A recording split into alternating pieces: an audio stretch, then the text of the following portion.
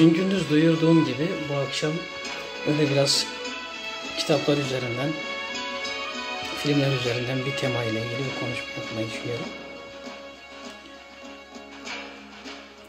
Kitap dostlarından, şiir dostlarına böyle haber gönderdim. Müsait olan dostlar gelecekler. Bu yüzden birazcık bekleteceğim sizi kusura bakmayın. Katılabilen dostlarla sohbet edeceğiz. Sonra yayını kayda alacağım. Yayın kaydı alındıktan sonra tekrardan izlenecek.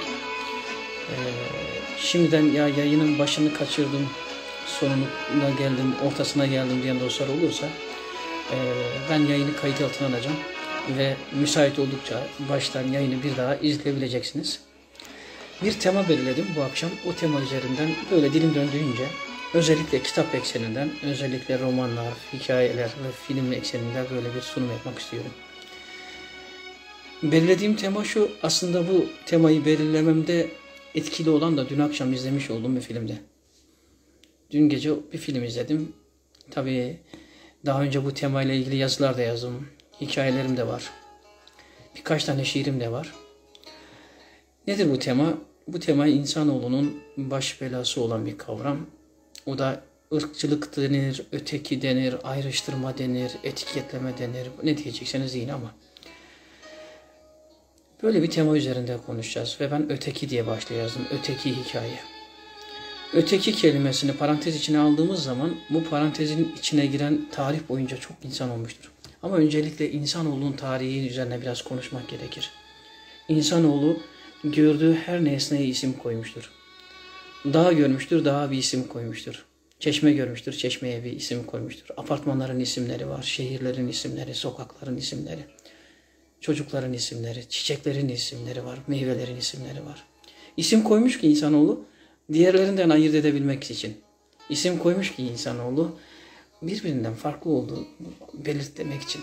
Belki de bir insan hayatı boyunca en fazla kendi ismini duyar ama en az da kendi ismini kullanır. İsim koymakta sıkıntı yok. Sıf, sıfat sokmakta da sıkıntı, koymakta da sıkıntı yok. Sıfatlar koyarız. Bazen bizler de sıfatlar biriktiririz. Hayatımız boyunca sıfatlar biriktiririz bizim önüm, ismimizin önüne bazı sıfatlar, bazı ünvanlar getirirler. Ve o ünvanlarımıza göre de bazen bize hayatta muameleler olunur. Muamelede bulunurlar. Fakat benim bugünkü hikayem, bugünkü konuşacağım filmden taşan mesele etiketleme, öteki deme, ötekileştirme. Çocukluğum pazarlarda geçti. Pazarlarda elmalar gelirdi, bazen armutlar gelirdi ve bir de ta uzaktan Kolombiya'dan, Costa Rica'dan kartonların içerisinde muzlar gelirdi. Hangi firma yapmışsa özellikle bir fabrikaya uğramış, tarladan değil de fabrikalardan gelmişse o meyvenin üzerine etiketler yapıştırırlardı. Etiketlerin üzerinde hangi ülkeden geldiğine ya da hangi markaya ait olduğu yazılırdı. Ve o meyvenin üzerinden o etiketi çıkardığınız zaman artık bir ay önce mi iki ay önce mi koymuş çikita yazıyor üzerinde işte muzun. Ya da işte elmanın geldiği yer, armutun geldiği yer yazıyor. Etiketi yapıştırılmış olan o meyveden o etiketi kaldırdığınız zaman meyvenin bile o etikete tahammül etmemediğini ve altında bir çürüme başladığını gör, görürdüm. Görürsünüz, sizler de görürsünüz.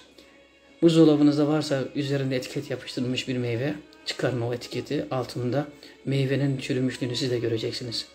E biz sadece meyvelere, sadece sebzelere değil, insanlara da etiket koyduk. İnsanlara da etiket koyduk ve koymaya devam ediyoruz. Ve etiketlerden nasibini almış, öteki kavramından nasibini almış o kadar çok tarih boyunca insan olmuş ki. O demişiz ve biz, bir tarafta biz, diğer tarafta o, onlar. Doğarken hiçbir insan doğacağı toprağı, doğacağı toplumu, doğacağı milleti, doğacağı dini doğduğu an tercih etmez. Gözünü açtığı zaman hiçbir insan teninin rengini kendisi tercih etmez. Saçlarım sarı olsun, gözlerim mavi olsun ya da kıvırcık kıvırcık saçlarım olsun, tenim kapkara olsun, çikolata rengi olsun, buğday rengi olsun. Hiç kimse böyle bir tercih içerisinde olmamıştır. İnsanoğlunun yazgısında nerede doğmuş olması gerekiyorsa orada doğacaktır. İnsanoğlu ne doğacağı zamanı ne doğacağı memleketi ne de doğacağı ülkeyi seçme yetkisine sahip değildi. Ama öyle ki işte okuyorum, romanlar okuyorum, izliyorum, filmler izliyorum. Öyle ki ve kendi içimde de diyorum keşke bunlar sadece senaryo olsaydı. Sadece bir senaristin ya da bir yazarın zihin dünyasında kurguladığı gerçek hayatta hiç olmamış şeyler olsaydı. Ama bizler o kitaplarda yazılanların çoğuna şahit olduk. Bazılarımız yaşıyoruz onları. İliklerimize kadar yaşıyoruz. Etiket yapıştırılmış olmanın duygusunu. Sahanın ortasında oynamak için sahaya çıkan bir futbolcunun kendisine muz atan taraftarlardan sonra artık gözyaşlarını akıttığını birçoğumuz görmüşüzdür. Muz atmakta ne var? Muz kabuğu atıyorlar. Kendisine maymun denilen futbolcular. Dünyaca meşhur futbolcu mesela Ronaldinho'ya kocaman bir politikacı, Polonya olması lazım ya da Portekizli bir politikacının maymun demesi. Evet, şimdi temama konuya geleyim. Öteki, öteki kelimesinden nasibini almış olan ünlü isimler, öteki kelimesinden nasibini almış e, bazı simalar ve yazılmış olan romanlardan bahsedeceğim ama Cemil Meriç'in Jurnal isimli kitabında bir söz vardı. Jurnalde bir yerde diyor ki Cemil Meriç, ırkçılık Fransa'da doğdu, Almanya'da gelişti ve Amerika'da ise uygulanmaktadır. Tabi Cemil Meriç bunu söylediği zamanlar 1950'li yıllar. Fransa'da doğduğunu, Almanya'da geliştiğini ve Amerika'da uygulandığını söylüyor. Şimdi bugün günümüz 2020'li yılların dünyasına baktığımız zaman demokrasi dediğimiz zaman, özgürlük dediğimiz zaman, insan hakları dediğimiz zaman akla gelen ülkeler hangi ülkeler? İşte insanlara özgürlüğün, huzurun, eşitliğin, adaletin sağlandığı ülkeler hangi ülkeler diye baktığımız zaman aklımıza Amerika gelir. Avrupa ülkeleri gelir. Peki Cemil Meriç'in 1940'lı yıllarda yazmış olduğu, 30'lu yıllarda yazmış olduğu bu kitabın gözüyle baktığımız zaman gerçekten öyle miydi? Evet öyleydi. İşte dün akşam benim izlediğim film, biyografik bir film, belgesel tarzında bir film. Jesse Owens'in hayatını anlatıyordu. Kimdi Jesse Owens? Berlin'le ilgili, Almanya ile ilgili okumalar yapıyorum. Almanya ile ilgili okumalar yaptığımda daha önce de karşıma Dassler kardeşlerin hayatını okurken karşıma çıkmıştı bu isim. Notlarım arasında vardı Jesse Owens. Ama o notların arasına yazmış olduğum Jesse Owens'ı çok detaylı bir şekilde araştırmamıştım. Detaylı bir şekilde hayatını okumamıştım. Ta ki dün gece bir film izlerken Jesse Owens'ı Rüzgar'ın oğlu ismiyle sinemaya uyarlamışlar. Kimdir bu Jesse Owens? On kardeşin en küçüğü olarak fakir, yoksul Amerika'da e, özellikle siyahilerin yoğunlukta bulunduğu bir yerde yaşayan bir genç. Az önce de söylediğim gibi kendi teninin rengini kendisini seçemiyor insan. Irkını, milletini, meşrebini, mezhebini, çevresini insan kendisi seçemiyor. Ve Jesse Owens da siyahi birisi olarak dünyaya gelmiş. Ama Amerika'da onun yaşadığı dönemde 1930'lu yıllarda bahsediyorum. Bugünkü Amerika'da böyle değil çünkü bugünkü Amerika'da e, siyahi bir başkan ülkeyi yönetti. Ki siyahi bir başkan olan Barack Obama ülkeyi yönettiği dönemde dahi henüz e, ya yönettiği dönemde ya da birkaç yıl önce eşi Michelle Obama bir alışveriş merkezindeyken birisi onu satış personeli zannedip ona fiyatları soyuyor. Çünkü oradaki tek siyahi o. Bugünkü Amerika'da dahi yine aynı şekilde siyahi vatandaşlara bakış açısı alt o ayrı bir durum. Ama ben 1930'lara götüreceğim size. Hitler dönemine götüreceğim. Cemil Meriç'in Almanya'da gelişti, Amerika'da uygulanmaya başladı dendiği ırkçılık meselesi. Şimdi ırkçılık, ötekileşme birçok romana, birçok şiire, hikayeye, filme, evet konu oldu. Bu akşam onları ara ara serpiştireceğim, söyleyeceğim. Bazı romanlar önereceğim. Gerçekten bazı romanlar var ki okuduğunuz zaman kendinizle de yüzleşeceksiniz. Kendinizi de sigaya çekeceksiniz. Bu davranış bende de var. Ben de aynı şeyi yapıyorum diyeceksiniz belki de. İnsanı güzelleştiren, insanı kendi içinde muhasebe yapmasını sağlayan bazı kitaplar var, bazı romanlar var. Bu romanlar, önereceğim romanlar belki de onlar olabilir ama Jesse Owens'a geri döneyim. Jesse Owens şöyle açayım, şöyle bir notlar tutmuştum. Kendisi 1937 yılında Berlin olimpiyatlarına katılan 19 siyahiden birisi.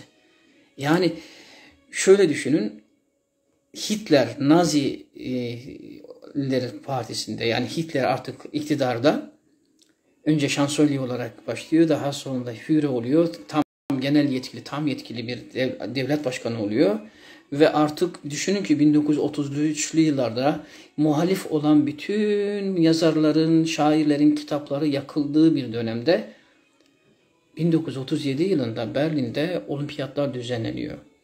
Ve Jesse Owens düşünün yani Hitler'in bulunduğu dönemde Alman ırkı, Aryan ırkı en özel ırk, en yani insanların içerisindeki en özel ırk olarak görülüyor Hitler. Onların dışındaki ırkların hepsi onlara hizmet etmek için yapılmış ırk olarak göz, görülüyor. Böyle bir dönemde bırakın Yahudi olmayı, Yahudilere bakışı zaten biliyorsunuz Hitler döneminin. Jesse Owens siyahi bir Amerikalı ki Amerika'da da ötekidir kendisi. Amerika'da da bir beyazla aynı çeşmede su içemeyecek kadar bir ötekidir. Amerika'da bir beyazın girdiği kapıdan giremeyecek kadar ötekidir kendisi. Amerika'da bir beyazla aynı koridorda yürüyemeyecek kadar ötekidir kendisi. Bir başarıyla kazanmış olduğu üniversiteye girdiğinde bütün beyazların kendisini böyle alaycı gözle baktığı birisidir kendisi. Ama ve lakin başarısından dolayı ama ve lakin kimsenin kıramadığı rekorları kırdığından dolayı ve Amerika'ya da kupaları getireceğinden dolayı 1937 yılında Berlin'e gönderilecek olan sporcular arasına Jesse Owens'e gönderilir. Film Rüzgar'ın Oğlu ismiyle Türkçe olarak e, dublaj yapıldı. Türkçe uyarlandı. İzleyebilirsiniz. Benzer filmleri, benzer romanları, benzer hikayeleri sohbetin arasına serpiştireceğim. Eğer önünüzde kağıt kalem yoksa ve bu akşam bu tema ile ilgili bir e, not almak isterseniz şimdiden söyleyeyim. Daha da tane tane anlatayım. Çünkü insanlığın baş belası bir kavramdır. Gerçekten bir başkasına öteki demek. Ötekileştirmek. Başkası olarak görmek. Acıtıyor. Az önce elma örneğini verdim. Elmayı acıtan, muzu acıtan insanoğlunu acıtmaz mı? Sen başkasısın yani. Senin ırkın başka. Yani 1930'lu yıllarda, 40'lı yıllarda Berlin'de, Almanya'da Yahudilere bakılan bakış açısı. Yahudilerin kendini gizlemeye çalışması. Yahudi bir şekilde kendini gizler de ama siyahsın ya sen kapkarasın. Her yerde kapkarasın yani. Kara insanın, kapkara insanın kendi tenini gizleyebilmesi öyle çok kolay bir şey değil. İşte Jesse Owens Berlin'e gelir. Berlin olimpiyatlarında görülmemiş rekorlar kırar. Yani hem 100 metre koşusunda olsun hem uzun atlamada olsun rekorlar kırar. Ve e, herkese madalya veren, herkesi kutlayan e, Adolf Hitler ona madalya vermez, onu kutlamaz. Fakat, fakat şunu söyleyeyim, o madalyaları alır e, ve ülkesine döner. Peki ülkesine madalyaları alarak dönen Jesse Owens, Rüzgar'ın oğlu, Tabi isminin Jesse olmasının da apayrı bir hikayesi var. Orayı hızlı geçiyorum çünkü size romanlardan da bazı tavsiyelerde bulunacağım. Benim esas araştırma alanım, esas ilgi alanım spor değil. Ben edebiyat araştırmacısıyım. Edebiyat üzerine tahliller yapıyorum, okumalar yapıyorum. E, temamız madem ki ötekileştirme, temamız madem ki ırkçılık, başkalarına o, bu, şu diye bakış. O yüzden Jesse Owens'ın hikayesini hızlandırarak o romanlara ve o roman karakterlerine hızlı bir geçiş yapmak istiyorum. Jesse Owens madalyaları toplar Berlin'den. Toplar. Peki ne olur? Almanya'ya geldiğinde, şey, Almanya'dan Amerika'ya geldiğinde Amerika'da çiçeklerle, şarkılarla, alkışlarla mı karşılanır? Amerika başkanı, Amerika televizyonu, Amerika'daki televizyoncular onu böyle ıı, omuzlarından mı taşır? Hayır. Jesse Owens Amerika'ya geldiğinde kendi bulunduğu işte siyahilerin ağırlıkta bulunduğu Alabama civarı o eyaletlerin dışında birçok yerde çok da bilinmez. Düşünün ki yani devletin başkanı Roosevelt olması lazım. Ee, hiç böyle onunla ilgili bir şey de söylemez, kutlamaz da. 1990 yılına kadar kendisine iade itibar da, bulun, da bulunmaz. Yani düşünün ki biz de kendi bazı şairlerimizi, yazarlarımızı biz de etiket koymuşuz ya koymaya da devam ediyoruz ya.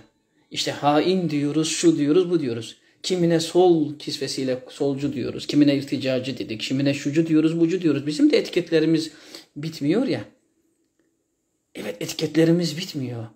İşte Jesse Owens'a da bir kere bir kara kapkara siyahi etiketi yapıştırılmış. Amerika'ya görülmemiş bir görülmemiş bir e, başarı getiriyorsun. Ama başkan tarafından hiç kimse tarafından böyle çok fazla böyle e, görünmüyorsun ya. Görünmez adam olmak. Evet etiketten etiketleştirilmiş insanlar hoş geldiniz bu arada. Salih Bey hoş geldiniz. Evet hocam hoş geldiniz hocam. E, yorumları bu arada konuşuyorum yorum yazıyorsanız ya gevezelik yapıyor kendi kendine konuşuyor demeyin. E, kompozisyonu bozulmasın zihnimdeki. O yüzden e, dikkatimden kaçarsa şimdiden beni affedin. Şimdi düşünebiliyor musunuz? Parantez içine almış olan insanlar. Düşünebiliyor musunuz? Görünmez insanlar, görülmeyen insanlar. Jesse Owens bir benzin istasyonunda e, bir pompacı olarak çalışıyor. Yani ülkesine görünmemiş bir şekilde olimpiyat madalyaları getirmiş olan bir insana soruyorlar buna. Ya sen o kadar başarılı bir geçmişin var. Ne yapıyorsun? Burada çalışıyorsun. Verdiği cevap şu. Madalyaları yenilmez ki. Ne yapabilirim yani? Madalyaları yemem ki ben diyor. Şimdi değerli dostlar, yayını canlı dinleyenler ya da kayıttan dinleyen dostlar.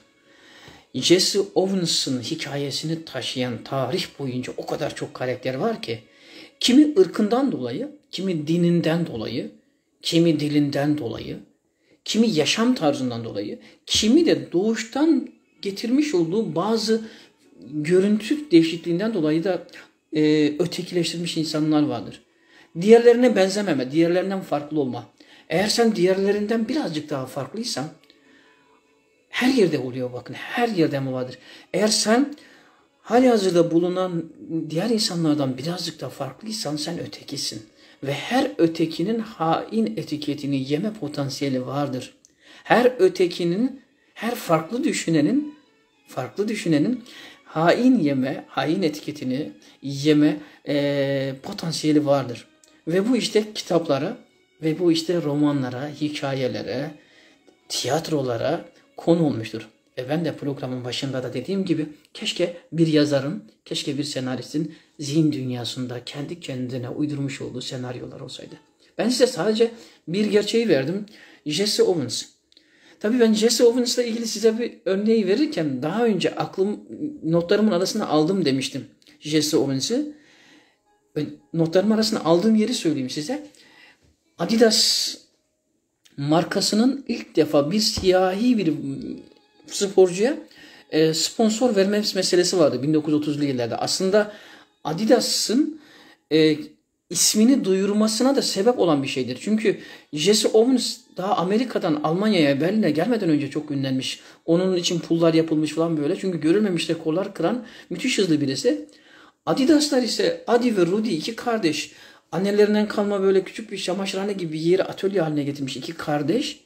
Bakın iki kardeş. Bunların hikayesini aslında Almanya hikayeleri faslında uzun uzun böyle yazmayı da düşünüyorum. Çok ilginç hikayeler vardır ama bugün Türkiye'de de yaşamaya devam ettiği için benzer şeyler sadece Türkiye'de değil dünyanın birçok yerinde de hala yaşamaya devam ettiği için ben biraz Adi ve Rudi kardeşlerden de bir bahsedeyim. Adi Dassler ve Rudi Dassler iki kardeş Almanya'nın güneyinde işte Münih ile Nürnberg arasında Ingolstadt civarında ismini tam telaffuz edemediğim iki kardeş e, bir şehirde yaşayan iki kardeş beraber üretiyorlar. Ama araya işte bu siyasi polemikler, Nazi tarafkirliği falan vesaire bir şeyler girince müthiş bir düşmanlık başlıyor. Sonra biri Adidas olarak yürüyor, diğeri Puma olarak yürüyor. Ve şehrin ortasında ben gördüm orayı. Bir nehir akıyor. Nehrin bir tarafında Adidas ailesi, Adidas'ın fabrikasının sahipleri, e, işçileri. Diğer tarafında ise Puma'nın. Dünyaca ünlü iki marka aslında iki kardeşin düşmanlığı. Siyasi polemiklerin neticesinde ayrılan iki kardeşin, iki ailenin ve iki e, mahallenin diyelim mahallecilik, ötekileşmenin neticesinde iki tane büyük dünya çapında firma düşünebiliyor musunuz? Zannediyorsam, yanılmıyorsam 2009 yılına kadar da bu düşmanlık devam etmiş ki suyun bu tarafı ve suyun öbür tarafta böyle öyle bir garip düşmanlık var ki hani hep biz zannederiz ki Yeşilçam'da vardı bu kan davası işte öteki falancalar filancalar hani Seferoğulları Tellioğulları hikayeleri var ya ya Seferoğulları Tellioğulları Adidas'la Ee, işte Adi Dassler'le Rudi Dassler'in çevresindeki insanlar arasında dahi olmuş. Aşık olamazsın karşı taraftakilerde. Bu apayrı bir hikaye. Apayrı bir hikaye. Öteki hikaye meselesiyle ilgili. Jesse Owens anlatırken aklıma geldi. Şimdi gelelim. Size önereceğim bazı romanlar, kağıtlar, kalemler hazır olsun. Gerçekten bazılarını belki başka programlarımda, başka yayınlarımda zikretmiş olabilirim. Anmış olabilirim. Ama mutlaka ama mutlaka okunması gerekli olan romanlar var. Ha hepsini söyleyebilir miyim? Hepsini zihnimde tasarlayabilir miyim? İmkanı yok. Yüzlerce roman var. Şiirlere damıtılmış e, heceler var. Öteki olabilmenin. Ben de bir şiirimde çifte kavrulmuşum demiştim mesela. Çifte kavrulmuş kav kelimesi fındık için geçerlidir. Kuru yemişte vardır. Ama insan olduğu için de çifte kavrulmuşluk vardır. Ötekileşme ile ilgili bir şiirimde.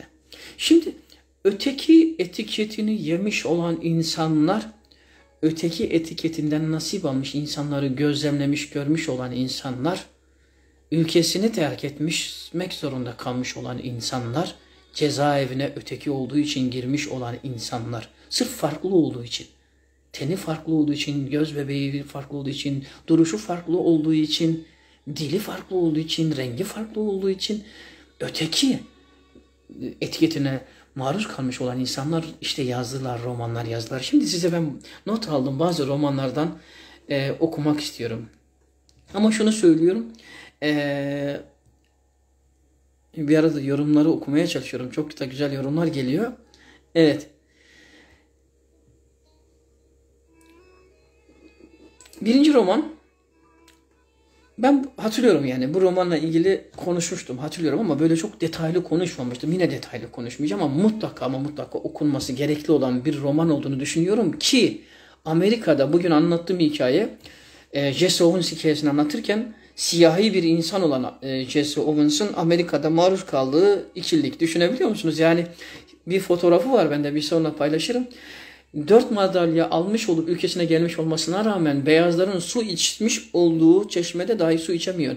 Ancak siyahların su içebildiği muslukta su içebilen bir insan olan Jesse Owens'in yaşadığı ülkede siyahi birisi ülkenin başkanı oldu. Barack Obama o ülkede başkan oldu. Hatırlıyorum ben Barack Obama o ülkede başkanken, Amerika başkanı iken bu kitabı gösterdi. Şimdi benim ilk birinci sırada söyleyeceğim kitabı okumadıysanız gerçekten pişman olmayacaksınız okuyun. Kitabın ismi Bülbül'ü Öldürmek. Evet. Amerika edebiyatında şaheserlerinden birisi olarak kabul edilir. Ve Pulitzer ödülü aldı. Ve filmi de Oscar, Oscar ödüllü bir filmi oluşturacak şekilde taşlandırıldı. Ben şimdi biraz daha e, burada küçük bir kızın bülbül öldürmek küçük bir kızın bakışında anlatılıyor bazı hikayeler.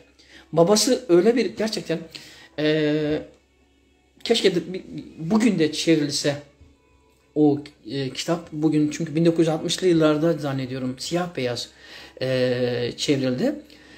Fil, sinemaya uyarlandı. Avik, avukat Atticus Finch romanın ana karakterinin babası. Romanın anlatıcısı olan küçük kızın babası avukat Atticus Finch o kadar müthiş bir babadır ki ve avukattır ve bir zenciyi savunuyor.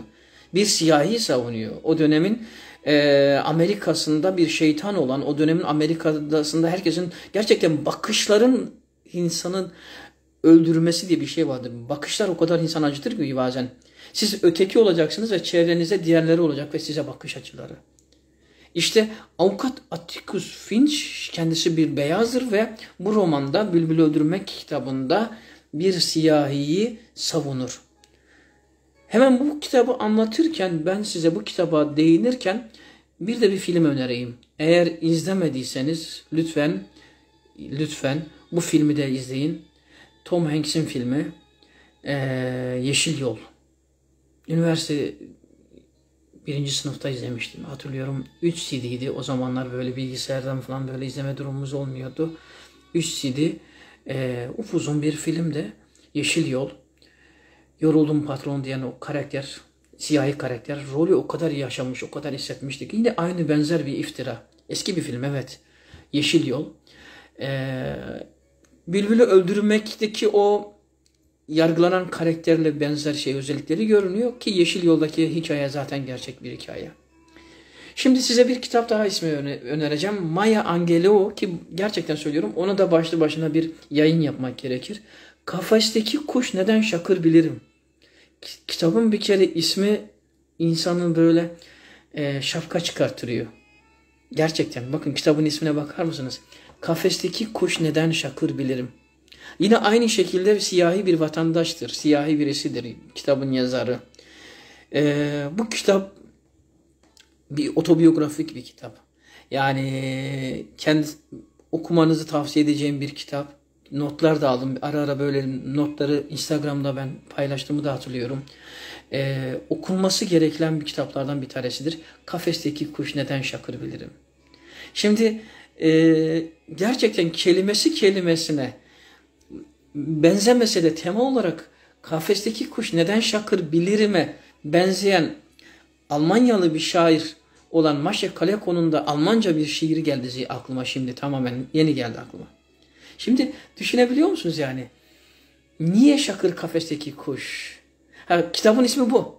Hangi kitap diyorsunuz? Birinci kitap Harpirli'nin Bülbül Öldürmek. İkinci kitap ise Maya Angelo'nun Kafesteki Kuş Neden Şakır Bilirim. Evet. Şimdi ben size biraz hatıra, bir hatıramdan bahsetmek istiyorum ve dinlendireyim size. Çünkü üst üste böyle bilgiler gitti. Yıl 2012 Nisan ayı. Ee, Bülbül'ü Öldürmek yazarı Harper Lee. Diğer kitabın ise Maya Angelou. Evet. Şimdi ben ırkçılık ve ötekileşmenin insanoğlunun bıraktığı insanoğluna etkisiyle ilgili bir hatıramı anlatayım. Yıl 2012 Nisan ayı bir grup arkadaş uçağa bindik İstanbul'dan Maya Angelou. Mor yılları bir ha, mor yılları arkadaşımız yazdı. Tamam. Şimdi e, Kampala'ya gittik. Uganda'ya. 2012. Uganda'da 4-5 gün kalacağız. Sonra İstanbul'a geri geleceğiz. İkinci ya da üçüncü günüydü. Zannediyorum ikinci günüydü. Gezimizin ikinci günü. Dolaştık. Birkaç yeri dolaştık. Bir gezi programımız var. Dolaşıyoruz. 2012. Bundan tam 10 yıl önce. akşam üzere ve ikindi namazını bir şehirde kılmışız. Akşam namazında böyle bir abdestlerimiz var. İkindi namazında kalma abdestlerimiz var. Ee, kaçtı kaçacak vakit sıkışık. Bizim şoförümüz de ismi Musa, siyahi bir Ugandalı ve o da Müslüman. Ee, tercüman vasıtasıyla konuşuyoruz onunla. Tercüman dedi ki burada yakında bir Müslüman köyü var camisi şurada küçük böyle belgesellerde izlediğiniz Afrika evlerini düşünün. Öyle bir yer. Belli bir saatten sonra zaten ışık diye bir şey yok. Elektrik diye bir kavram yok. Yani karanlık tamamen kapkaranlık. Camiyi görür görmez hepimiz hemen camiye arabayı park ettik ve caminin içerisine girdik. Şimdi ben o anı gerçekten ömrüm boyunca unutamayacağım bir anı. Camiye hepimiz aynı anda girdik. Küçücük bir cami beyaz tenliyiz. Aramızda sarışın arkadaşlar da var. Ve üzerimize böyle e, havalı sıcak olduğu için açık tonda elbiseler var. Hepimiz aynı anda hızlı bir şekilde camiye girdiğimizde caminin içerisinde bulunan yatsıyı bekleyen oradaki siyahi vatandaşlar, o köyün insanları yani öyle bir kenara doğru açıldılar ki yani anlatamıyorum size. Yani böyle bir sinek topluluğu olur da çok kötü bir benzetme oldu özür dilerim ama hadi kuşlar güvercinler olur da böyle içine gidersiniz de birden hepsi uçar ya. Aynı o şekilde e, rahlelerde Kur'an okuyorlar böyle bir mum ışığının altında e, böyle hepsi kenara doğru bir kaçtılar. Kenara doğru bir kaçtılar. Biz tabi e, vakit dar hemen birimiz imam bir, bir arkadaş imam oldu namazı kıldık. Akşam namazını kıldıktan sonra o etrafımızda korkuyla bize beyaz insanlar çünkü köylerine beyaz insanlar kim bilir kaç sene önce gelmiştir. Beyaz insan demek oradaki insanlar için zamanında gelmiş onlara kötü, köleleştirilmiş insanlar olarak görüyorlar. E ama bunlar namaz kılıyor. Ve bunlar bizim okuduğumuz ayetleri okuyor. Bunlar da selam verdiler. Bunlar da Allah'a ekber dediler diye düşündüler ki namazdan sonra o az korkan insanlar etrafımıza geldiler. Ellerimizi sıktılar. Özellikle yaş olarak biraz da yaşlı olanların gözlerinin titrediğini, bakışlarındaki bir duygulanmayı hissettim. Şimdi siyahi insanlarla ilgili iki kitap e, söyledim. Kafesteki kuşları neden şakır bilirim ve bülbülü öldürmek. Şimdi e, bir kitap daha Ağla Sevgili Yurdum 1948 yılında, hoş geldiniz hocam. 1948 yılında yazılan bir kitap Alan Paton. Alan Paton'a ait 1948 yılında basılan bu kitap Ağla Sevgili Yurdum. Güney Afrika'da geçiyor. Önceleri zengin beyaz çocukların eğitmenliğini, sonraları kara çocukların kapatıldığı bir ıslah evinin yöneticiliğini yapan Alan Paton, Ağla Sevgili Yurdum'da siyah insanlarla beyazların çatışmalarını, çelişkilerini e, bütün sadeliğiyle anlatıyor. Ve birazcık siyahi meseleden çıkıp e, Avrupa'ya doğru gelelim. Bu da gerçekten çok fazla bilinmeyen ama 1962 yılında yayınlandığında Avrupa'da çok ses getiren e, yine otobiyografik yönü olan bir ötekileştirme, bir işkence romanı. Ivan Denisovich'in Bir Günü. Sinemaya uyarlandı mı bilmiyorum. Bilen dostlar varsa yoruma yazabilir. E, Alexander Solzhenitsyn kitabı. Stalin döneminde öteki diye baskı altına alınan hücrelerde işkenceye maruz kalınan, insan onurunun çiğnendiği, insanlığa yakışmayan eziyetlerinin görüldüğü bir ortamın kurgulanarak, roman diline uyarlanarak romanlaştırıldığı bir kitap. Evet. Yine gerçekten e, Toni Morrison'un bir kitabı 1987 yılında yazılan bir kitap. Sevilen isimli roman. Bu roman e, Toni Morrison'un 1993 olması lazımdı. Nobel Edebiyat Ödülü almıştı ama bu kitapla almadı. Bu kitapla 1988 yılında e, Pulitzer ödülünü almıştı. 1988 yılında Pulitzer ödülünü almıştı.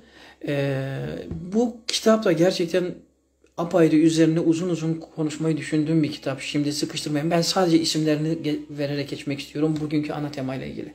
Mesela e, sinemaya da uyarlandı yine. Gerçekten eğer okumadıysanız okumanızı tavsiye ederim. E, Uçurtma Avcısı. Harun Bey hoş geldiniz. Ya neler ya konuşuluyor burada. Ben okullarını okula, okumuyorum böyle daldım anlatıyorum ama e, tamam Gülşah hocam siz planlayın biz o söyleşi yapalım. Yani böyle istediğiniz bir konuyla ilgili gideriz. Şiirlerle ilgili olabilir. Ee, genel olarak yaparız.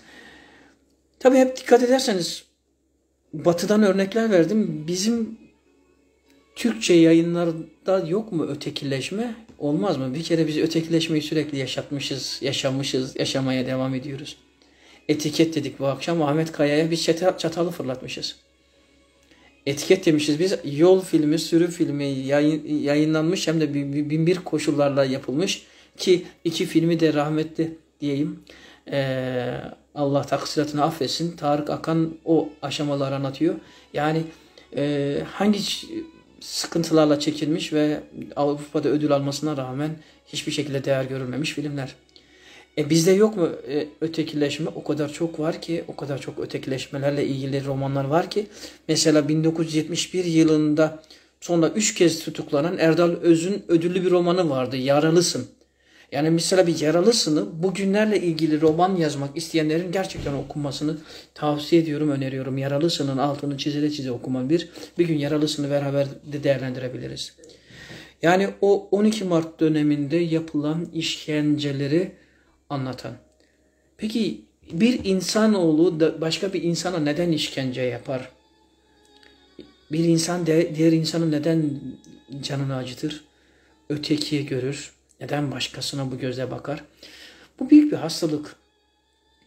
Ahmet Ümit'in bir kitabıydı galiba. Orada geçiyordu ama hangi kitap hatırlamıyorum ama evrensel bir suçtur. Evrensel bir suçtur ırkçılık. Zülfü Livaneli de Sonada kitabında diyordu. Onu öyle hatırlıyorum. O da diyor ki bir yerde eğer bir kötülük varsa orada sadece bir suçlu aramamak gerekir. Herkes biraz biraz suçludur bu işte.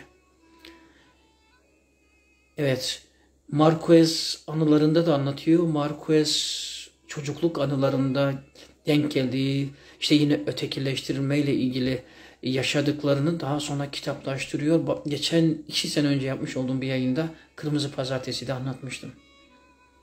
Yine Amerika'ya her gittiğinde Amerika'ya her gittiğinde neredeyse gözaltına alınan Amerika'da uçakta indiğinde isminden dolayı gözaltı işlemi olan da sonra serbest bırakılan Hindistanlı yazar, Hindistanlı oyuncu, sinema oyuncusu, aynı zamanda yönetmen. İsmini, ismini, ismini tam olarak gerçekten e, şimdi bir bakayım şöyle. Şahrukh Khan. Filmi, onun filmini de gerçekten izleyin derim. Benim adım Khan, ben terörist değilim. Mükemmel oynamış. Kendisi başrol oyuncusu aynı zamanda ve yaz, senaristi, yönetmeni.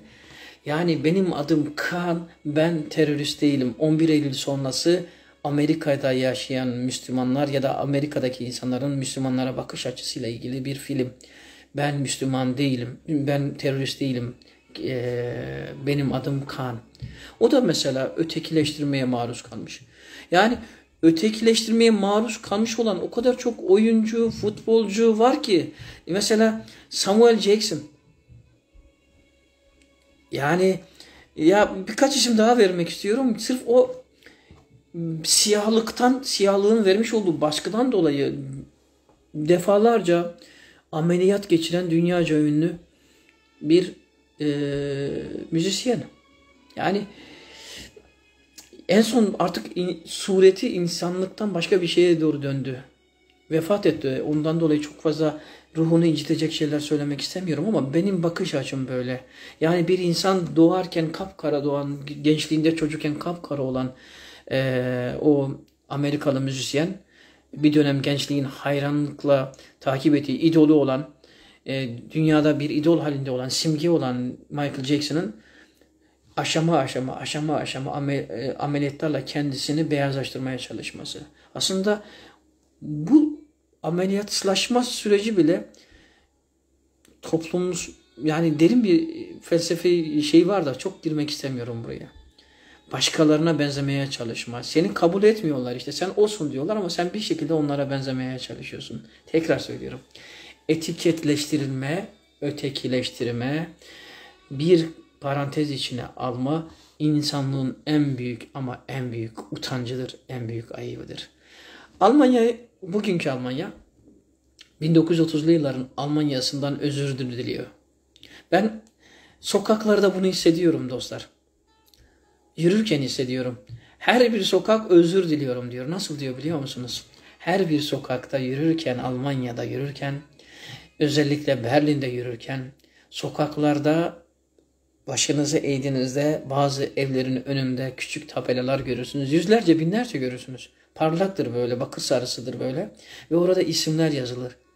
Adları, soyadları, doğum tarihleri ve hangi Nazi kampında öldürüldükleri, gittikleriyle ilgili bilgiler yazılır.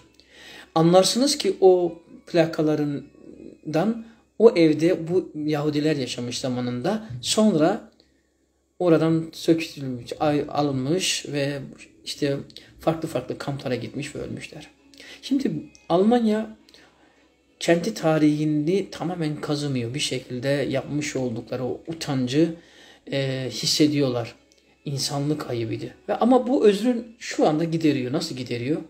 Ötekileştirildikleri insanları işte dünyanın birçok yerine e, yazarları, şairleri, aydınları gitmiş. Dünya literatüründe, edebiyat literatürüne sürgün edebiyatı kavramını Almanya'dan gitmiş düşünürler koymuş belki de. Ama bugün Almanya'da on binlerce, yüz binlerce düşünür, yazar, şair, sinemacı e, bugün ülkesine gitse cezaevine konacak. Ülkesine gitse belki idam edecek ki bir tanesi şu anda İran'da e, Almanya doğumlu olmasına rağmen idam noktasında geçen kızıyla e, yazıştım. Kızı bana teşekkür etti. Çünkü babasının portresini çizdim. Babası öldü öldürülecek. E, kızın ismi Gazelle. Almanya'da yaşıyor. E, çizdiğim resimden dolayı teşekkür etmiş ki ben de çiz, insan hakları aktivistiyim. E, babası öldürülecek mesela. İşte bu tür düşünürler, aydınlar, yazarlar ülkesine gittiğinde ya hapse girecek ya da öldürecek insanlar bugün Almanya'da. Almanya kendi tarihinde aslında kendi yapmış olduğu utanç döneminden bugün özür diliyor.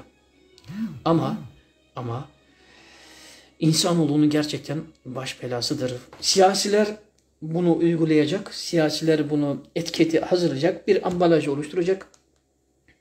O ambalajı toplumun içerisine medyayla gönderecek ve insanlar o etiket vesilesiyle huzursuzluğu oluşturacak. Sonra edebiyatçılar da o öyküleri ağlaya ağlaya, hissede hissede, geceleri kafaları zonklaya zonklaya, başlarını yastığa koyduklarında uykularını kaçırırcasına o öyküleri yazacaklar, yazıyorlar. Keşke yazmasalar, keşke yazılacak o öyküler hiç olmazsa.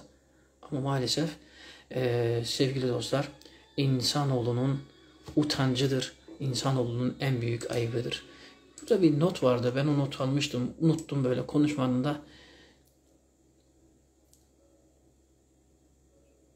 Doğu'nun Limanları kitabından almışım o notu. Amin Mailov. Tiksindiğim bir şey varsa o da ırkçılık, ayrımcılık diyor. Tiksilmeyecek bir şey değil ki.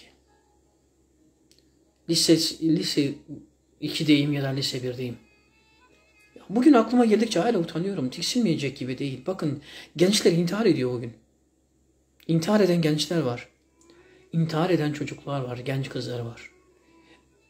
Ve ya düşünebiliyor musunuz? Babanızın işinden dolayı, babanızın mesleğinden dolayı, ya bir aidiyetinizden dolayı insanlar size ötekileştiriyor. Falancanın kızısın sen işte, filancasın, falancasın diyerek. İşte Yahudilere konmuş, zencilere konmuş, zenci diyorum siyahilere konmuş. Bugün Çin'de Uygur Türklerine yapılıyor. E, yani bir Kürt gerçeği var, Kürt kavramı var. Ahmet Kaya meselesine hiç girmedim. Yani düşünebiliyor musunuz? Yani bu bir başlı başına utanılacak bir mesele. Ee, diye intihar ediyor gençlikler yani düşünebiliyor musunuz? Yani çocukluğu babasından dolayı, mesleğinden dolayı insanların intihar ettiği, gençlerin intihar ettiği bir ülke yani. Ben bir anımı anlatıyordum, unuttum onu. Lisedeydim. Bir inkılap tarihi öğretmenimiz vardı, tarihçiydi. Hiç unutmuyorum gerçekten. Utan hani Almanca bir kelime var, Türkçesi yok. Bu Almanca kelimenin tam Türkçe karşılığı yok. Yani net olarak Türkçeyi çeviremiyorsunuz. Çünkü Almanlar demek ki insan hissettiği kelimeyi üretir. Yani elimize telefon yokken telefon kelimesi yoktu. Telefon icat oldu sonra telefon oldu. Yani televizyon kelimesi de bugün yok yani. İcat edilmemiş bir şeyin ismi olmaz. Bizde bu duygu icat olmadığı için Türkçe'de böyle bir kelime yok ama Almancası var. Nedir biliyor musunuz? Başkası adına utanmak. Türkçe kelime yok. 3-4 kelimeyle ifade ediyorum başkası adına utanabilmek kelimesi Almanca'da var, Fremdschauung ama Türkçe'de yok. Türkçe'de böyle bir kelime yok. Ve ben gerçekten o kelimeyi hissetmiştim lisede. Tarih hocamız, inkılap tarih hocamız, lisede ya da ortaokul sonunda olabilir. Tam olarak hatırlamıyorum. Ama hocamızın tarihçi olduğunu iyi hatırlıyorum. Ve özne olan öğrenci kız, kız arkadaşım, sınıftaki kızın da e, Alevi olduğunu çok iyi hatırlıyorum. Birkaç kız vardı Alevi olan. Ya mezhebinden dolayı ve öğretmen de o kızın, o kızların Alevi olduğunu çok iyi bilmesine rağmen o kadar basa basa altını çize çize öyle utanılacak, öyle bir iğrenilecek şekilde meseleyi tasvir etti ki o gün derste. 3-4 arkadaş gerçekten ciddi bir şekilde öğretmenimize karşı sert tepki gösterdik. Bağırışma oldu, çağrışma oldu. Ben Alevi değilim. Arkadaşlarım Aleviydi. Ama ben de başka konularda ötekileştirildiğimi kendi hayat hikayemde vardır. Hepimizin hayat hikayesinde vardır. Ama o gün o öğretmen adına utandım ben. O eğitimci adına utandım ben. Öğrencisine ailesinin mezhebinden dolayı özellikle öğrencisinin bulunduğu, oturduğu yere baka baka Alevilikle ilgili o kadar na hoş, hoş olmayan şeyler söylemiştik. İşte ötekileşme. Jesse Owens hikayesinden başladık, buraya geldik. Çıkamayız ki işin içerisinde. Öyle bir derin kuyu ki olmasın böyle bir kuyu. O kadar çok dağlandırıp budaklandırıp anlatabiliriz ki, o kadar çok film anlatabilirim ki size. Aklıma geldikçe bazı filmleri söyledim aklıma geldikçe bazı not aldığım romanlar da vardı. Çoğunu da geçtim. 3-4 tanesini söyledim çünkü uzatmak istemedim. 45 dakikayı geçti. Normalde bir 40 dakika gibi planlıyordum. Ee, 45 dakikayı geçti. Çok uzatmayayım. Ee, dostlar tematik böyle vakit buldukça şiirlerle, romanlarla, filmlerle dünya e, da yaşanmış ve Türkiye'de yaşanmış meseleleri böyle meczederek, bir araya getirerek anlatımlar yapmayı düşünüyorum. Arz talep meselesi yorumlarınızla e, değerlendirebilirsiniz. Eğer ya hocam gerek yok vakit kaybı, vaktimizi çalıyorsun derseniz zaten gelen yorumlarla ona göre yapıyorum. E, talep olduğunu düşündüğüm zaman yapıyorum ama talep olmadığını hissettiğim zaman yapmıyorum. E, ara ara böyle buluş, buluşabiliriz yine vakit buldukça. E, dertli söyleyen olur derler ya. Ben de şiirimde çifte kavramışım diyordum. Jesse Owens'ı dün akşam izlerken o kendisine muz kabuğu atıldığı için ağlayan futbolcu, ırkçılığa maruz kalan o futbolcunun da gözyaşlarıyla bir araya gelince e, insanoğlu, kalp taşıyan insanoğlu hisseder bazı şeyler. Hele yaş tanıdıksa size bazı duygular hissedersiniz. Uzak gurbet elde memleketinize birisini görseniz uzun zamandır görmediğiniz birisini böyle kollarınızı açar sarılırsınız ya kardeş senden memleket kokusu geliyor dersiniz ya. İşte bana memleketten peynir gelmişti. Ve hemşerimle birisi vardı. Onu ziyarete gittim. Baktım dedim ki burada yok dedi oradaki kişi. Yatağı nerede? Yatağı burada. Bir yerde kalıyor işte. E, yatağının bulunduğu yerde yastığının altına koydum bir poşet peynir. Küflenmiş yeşil peynir. Bunu da hikayeleştirdim. Hikayesi de var bunun. Küflü yeşil peynir. Birkaç gün, bir hafta falan gitmedim. Sonra bir gün otobüs durağında beni gördü, boynuma sarıldı. Ya dedi ben o gün dedi başımı yastığa koydum. Sağa dönüyorum memleket kokuyor, sola dönüyorum memleket kokuyor, peynir kokuyor dedi. Sonra sabah bir kalktım ki yeşil peynir. Dedim bu nereden geldi? Ben getirmiştim dedim sana ben memleketten geldi. Sen de memleketi özlemişsindir. Şimdi bazı yediğimiz şeyler bile bizi böyle duygulandırırken bazı hisler de bizi gerçekten istendirir. Tanıdık hisler çünkü bu hisler. Eğer hayatının bir döneminde öteki etiketine maruz kalmışsanız hangi filmi izlerseniz izleyin yani bu tarz filmlerle ilgili hangi film izlerseniz izleyin kendi duygularınıza engel olamazsınız. Evet sevgili dostlar yayını burada noktalıyorum. Ee, sabrınız için teşekkür ediyorum. Yorumlarınızı tek tek okuyamadım. Ee, eğer soru olduysa ve cevap vermediysem şimdiden özür diliyorum ama hızlı bir şekilde okuyorum. Genel olarak e, genel olarak yorumlar vardı. Ne demişsin Salih abi? Tabii yani bir yayın yaparsak e, ben duyururum. Hep konuşuyoruz ama bir türlü o yayının adını koyamadık. Ben e, her zaman okey yani eğer fayda olacaksa yayın yaparız tekrardan beraber ortak bir yayın yaparız. Ama e, Amerika'da söyleşilerde büyük ihtimal şiir konuşuruz. Şiir eksenine gideriz. Evet çok soru yok. Ben böyle bir kabalık olmasın, e, nezaketsizlik olmasın, hiçbir soru cevapsız kalmasın diye tek tek bir daha okudum. Eğer ki e, sorularınız cevapsız kalmışsa sormuşsanız şimdiden affedin. E, beklerim Kemal abi. Ama gelirken kaju da getir olur mu? Kaju işin esprisi. Ben e, kaju da beklerim. Bir sonra yayın açarsam Ömer'in kajusu hikayesini de okuyorum. Öyle bir kaju ile ilgili bir hikaye yazmıştım. Kemal abi beklerim.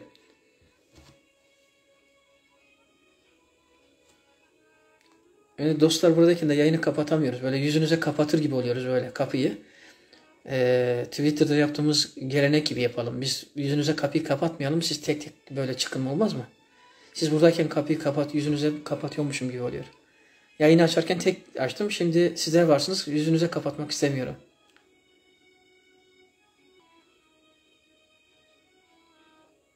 Kemal abi.